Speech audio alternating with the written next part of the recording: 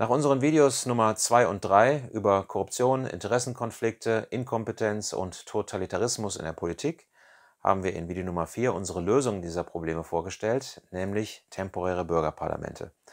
Das warf bei einigen die Frage auf, was ist denn eigentlich mit Volksentscheiden? Ja, was ist mit Volksentscheiden? Ist das nicht super? Ja, grundsätzlich schon. Da gibt es allerdings vier Haken, an denen Volksentscheide scheitern. Und was das für Haken sind, die erstmal beseitigt werden müssen, damit Volksentscheide funktionieren, das schauen wir uns jetzt mal an. Im letzten Video Nummer 4 haben wir Volksentscheide mal radikal weitergedacht und so konsequent umgesetzt, dass wir diese vier Probleme lösen können. Diese Probleme sind zu geringe Motivation der Bürger, zu geringe Kompetenz, Medienkampagnen, die das Ergebnis steuern und viel zu viele Entscheidungen, als dass das machbar wäre. Wenn man Volksentscheide wirklich als demokratisches System durchziehen will, wirklich konsequent, dann muss das aber auch ständig stattfinden. Dann müssen im Grunde genommen alle Entscheidungen vom Volk getroffen werden. Wie viele sind das? Das werden wir nachher mal sehen. Da kommen wir auf zwei bis drei pro Tag.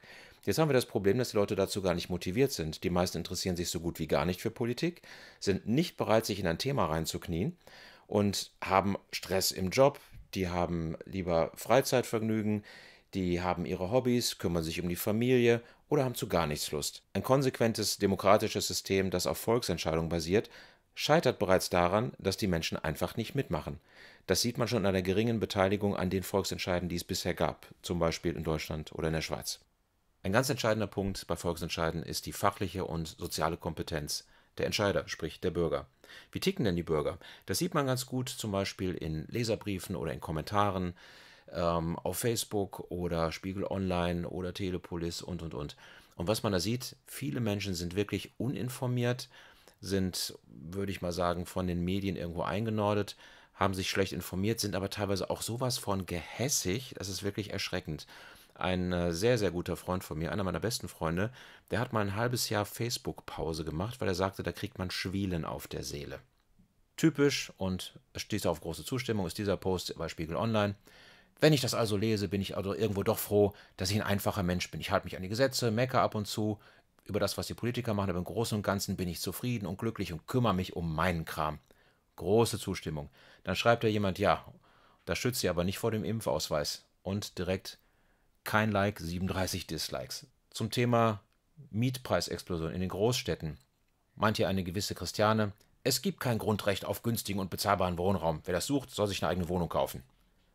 Also das ist nicht nur inkompetent, das ist auch wirklich mies. Und es ist auch falsch, denn es gibt ein Grundrecht auf bezahlbaren Wohnraum. Das ist nämlich Artikel 1 Grundgesetz. K70 Ingo meint, nein, Wucher findet hier am Mietmarkt nicht statt. Auch nicht ein bisschen. Überwiegend Zustimmung. Es gab einen Artikel über eine Ärztin, die vergeblich versuchte, eine Teilzeitstelle zu finden, ohne direkt beruflich völlig abzusteigen. Und dann schreibt doch dieser Mann allen Ernstes, meine Frau ist Ärztin. Sobald eine Kollegin auch nur den Wunsch nach Teilzeit erwähnt, ist jede Aufstiegschance vorbei. Und mit was? Mit Recht, findet er. Wenn einer nicht viel arbeiten will, dann muss man den Sinn des Lebens irgendwo anders suchen, findet der Herr. Ein gewisser Holger fordert, gebt Herrn Lauterbach endlich operativen Einfluss, sprich Herr Lauterbach soll uns regieren. Überwiegend Zustimmung. Zum Albtraum des chinesischen Social Credit Systems, das haben wir in unserem Video Totalitarismus schon mal dargestellt, da schreibt ja jemand, was ist schlimm daran, wenn aufrichtiges Verhalten belohnt und gesellschaftsfeindliches bestraft wird. Solche Leute sollten nochmal 1984 und Brave New World lesen. Hier meint jemand zu einem Foto, wo die Menschen dicht an dicht stehen. Dicht an dicht gedrängt und kuschelnd warten die Menschen da. Wo bleibt die Nationalgarde zu Pferd, die die Leute auseinandertreibt? Jemand mit dem passenden Namen Zombie meint, ist so. Und wenn man mit Maske und Abstand dagegen protestiert, dann direkt Wasserstrahl in die Eier. Asoziale Wildkatze, auch hier passt der Name. In den USA würde man die wegknallen, anstatt mit Wasserwerfern zu bespritzen. Wohlgemerkt, es ging hier um Menschen, die für ihre Grundrechte demonstriert haben, friedlich. Man muss immer bedenken, wir leben in einem Land, in dem Schnappi das Krokodil, Schnieschna Schnappi, zehn Wochen lang auf Platz 1 war. Das war in Österreich und der Schweiz auch nicht anders. Das Video bekam 29 Millionen Aufrufe. Die größte Reichweite haben nicht die wichtigsten Inhalte, sondern Stars, Promis, ob jetzt bei Twitter, Instagram, Facebook oder sonst so. Sehr schön ist dieses Bild, wichtigen Inhalt geteilt über Politik, Wirtschaft, Regierung und andere ganz wichtige Dinge über mein Land. Ein Like. Der Pina went shopping. 4458 Likes. Wenn man sieht, welche Zustimmungsraten Politiker in Deutschland haben, dann treibt es einem die Tränen in die Augen.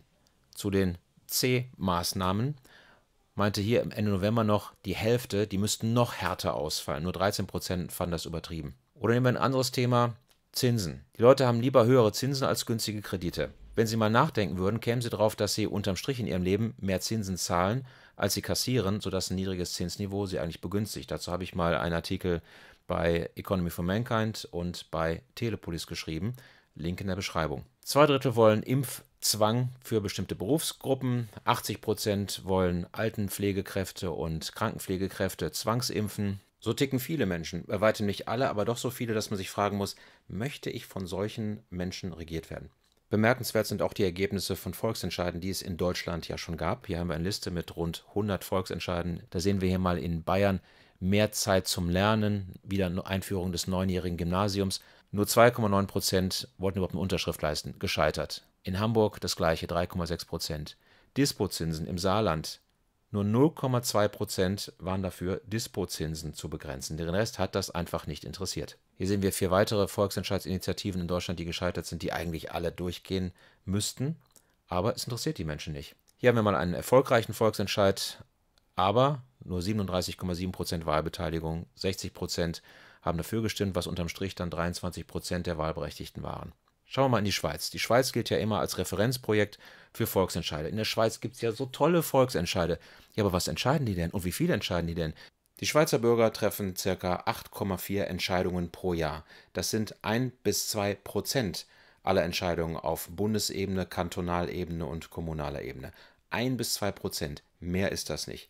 Das sind auch nur die Entscheidungen, die vom Volk initiiert werden und davon wird etwa die Hälfte auch noch abgelehnt.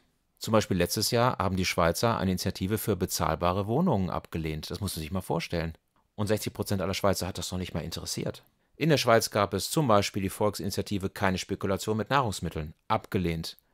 Für verantwortungsvolle Unternehmen, die weltweit die Menschenrechte achten, abgelehnt.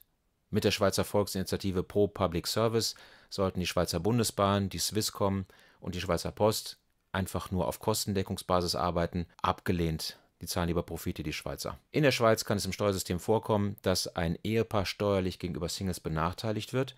Das soll auch weiter so bleiben, haben die Schweizer entschieden. Eine Volksinitiative für gesunde, umweltfreundliche und fair hergestellte Lebensmittel abgelehnt. Wie ist das möglich? Warum wird das abgelehnt? Was ist da passiert? Es gab in der Regel immer wieder einen Trend zu einer Annahme dieser Entscheidung und was ist dann passiert? In jedem Fall, in dem eine Initiative zu einem Ergebnis führen könnte, das den Mächtigen nicht passt, haben die Medien direkt mit einer Kampagne dagegen gehalten und die Meinung gedreht. Bis in die kleinsten Zeitungen werden dann Ängste geschürt, Todesgefahr, was auch immer. Das ist Problem Nummer drei bei Volksentscheiden. Problem Nummer vier bei Volksentscheiden, wenn es nicht eine Alibi-Veranstaltung sein soll, wo nur ab und zu mal ein Volksentscheid stattfindet, sondern wirklich ein demokratisches System, das darauf beruht, dann sind das viel zu viele Entscheidungen. Wenn wir uns mal die offiziellen Statistiken des Bundestags anschauen, dann sehen wir hier, dass der Bundestag bis zu 240 Entscheidungen pro Jahr trifft. Hinzu kommen noch die Entscheidungen auf Landesebene, auf kommunaler Ebene, auf EU-Ebene und das sind nur die Gesetze. Dann kommen auch noch die Verordnungen hinzu. Wir erinnern uns, diese ganzen C-Maßnahmen basieren vor allen Dingen auf Verordnungen. Wenn wir also das alles umsetzen, dann läuft es darauf hinaus, dass jeder Bürger sich pro Tag in etwa zwei Entscheidungen hineinknien müsste. Dazu müsste er kompetent und motiviert sein und das ist einfach mit dieser Masse nicht machbar. Fassen wir zusammen, wenn Volksentscheide wirklich als demokratisches System konsequent umgesetzt würden, dann scheitert das an der viel zu geringen Motivation der Bürger, an zu geringer Kompetenz, an Medienkampagnen, die das Ganze beeinflussen und an der schieren Masse der Entscheidungen, die zu treffen sind. Die vier Probleme, an denen Volksentscheide bisher scheitern, sind nicht lösbar. Es sei denn, man geht einen anderen Weg. Und genau das machen wir. Siehe unser Video Nummer 4, temporäre Bürgerparlamente. Das heißt, wir haben eine hohe Motivation, indem wir nur motivierte Freiwillige haben. Wir haben eine hohe Kompetenz der Entscheider, der Bürger. Jeder Bürger, der in einem Bürgerparlament ist, hat zwei bis vier Wochen Zeit für ein einziges Thema. Er bekommt dann einen vom Staat bezahlten Urlaub. In dieser Zeit werden alle Argumente gesichtet und bewertet. Der Einfluss von Medienkampagnen auf die Entscheidung ist eher gering. Und wir können beliebig viele Entscheidungen durchführen. Wir haben überhaupt kein Kapazitätsproblem. 1000 Bürger entscheiden pro Abstimmung. Bei der zweiten Abstimmung sind es andere 1000 und so weiter. Bei 1000 Abstimmungen innerhalb von vier Jahren kommen 1000 mal 1000 Bürger dran. Das heißt, eine Million Bürger entscheiden innerhalb von vier Jahren über die politischen Themen. Damit haben wir ein Parlament, das eine Million Parlamentarier hat, statt heute rund 600. Unser Video Nummer 4 erläutert, wie das ganz genau funktioniert. Fazit: Volksentscheide sind theoretisch die beste aller Regierungsformen, sofern diese vier Probleme gelöst werden, sofern sie überhaupt lösbar sind. Teilen, abonnieren, liken und auch konstruktiv kommentieren wäre nett und hilfreich. Und lass ein Abo da, denn verpasse nicht das nächste Video, wenn es darum geht, was haben wir für ein revolutionäres, sensationelles Steuersystem für dich. Vielen Dank.